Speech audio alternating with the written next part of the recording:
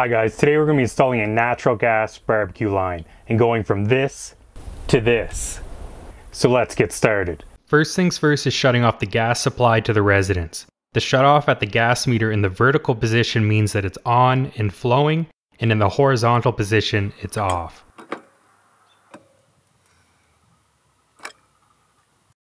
Always ensure that the gas is in fact off before disconnecting any piping.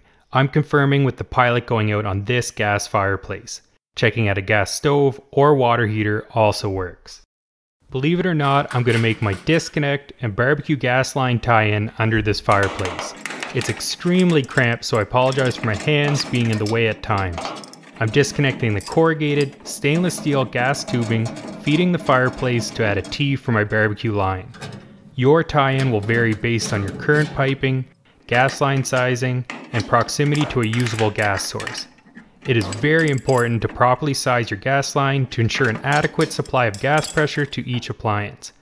AC Service Tech has an excellent video on gas line sizing that I'll link to in the description below. Be sure to check out his channel for all your HVAC needs. I'm recutting the corrugated stainless steel piping to length to install my T and connecting everything together with gas approved Teflon tape. This particular brand is WardFlex, but some other more common brands of corrugated stainless steel piping are TracPipe and Gas each having their own proprietary fittings.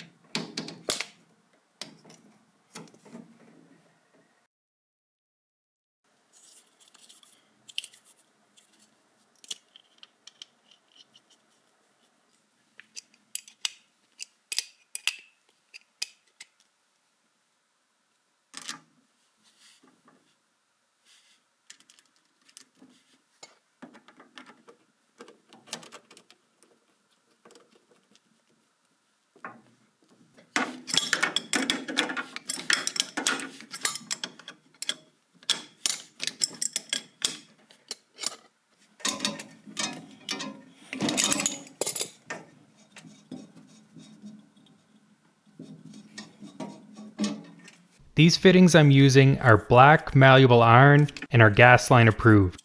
It is important not to use galvanized fittings as they might look the same but are not gas approved.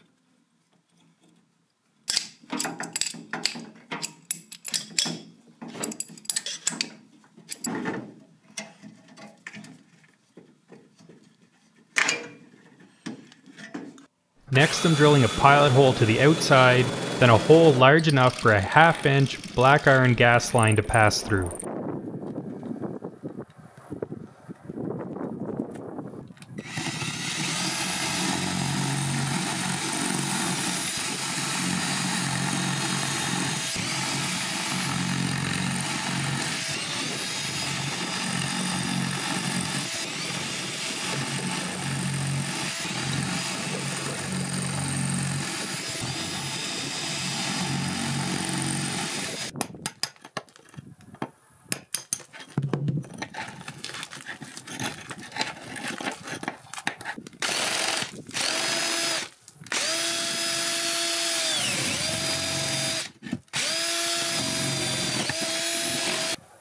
When passing a gas line through a wall, always tape and protect the end from debris entering the line.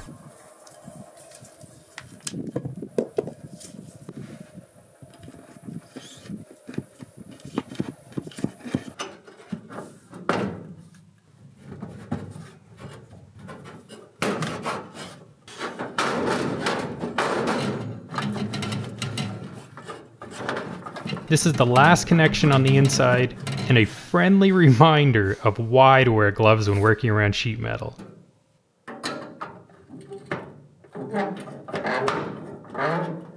Taped up the vapor barrier and secured the gas line, ready for the outside.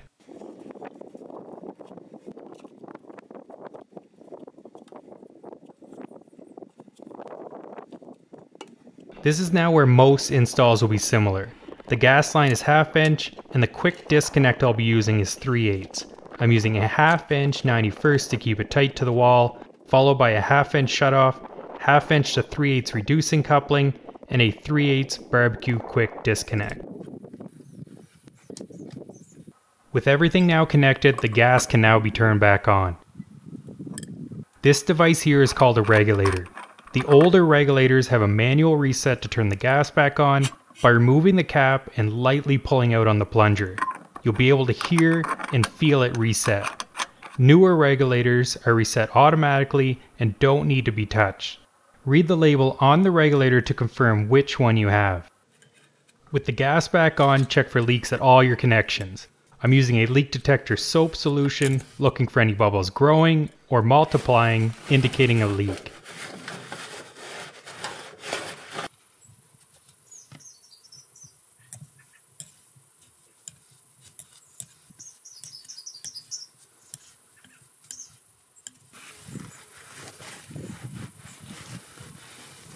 Confirming that there are no leaks, relight any appliances that have a standing pilot. In my case, it's a fireplace and a water heater.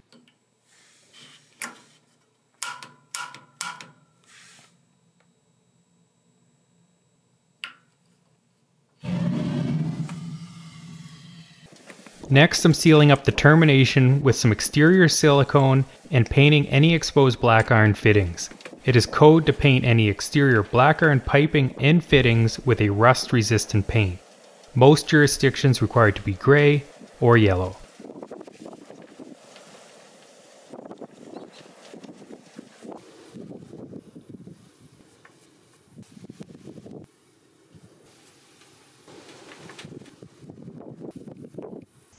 To connect the barbecue hose, pull back on the quick disconnect sleeve and insert the hose. Release the sleeve and make sure the hose is secure. Before opening the gas valve, make sure the burners are in the off position and the lid is open. To light the barbecue, have the igniter going and turn the burner to the lighting position. Continue the igniter until the flame is present. If it takes longer than a few seconds, wait a couple of minutes and try again. If still no flame, check for gas supply and spark. The safest way to turn off your barbecue is first shutting off the gas valve, followed by the burners. This allows for the gas in the hose to be purged and an extra layer of protection if the burners are turned or left on by accident. Please remember that most jurisdictions require a licensed gas fitter to perform any gas related work. Be sure to check with your local codes and regulations. These videos are produced for educational purposes and natural or propane gas should always be respected. Well guys, thanks for watching and like always if this video helped you out, liking, commenting, subscribing is always greatly appreciated. Till next time.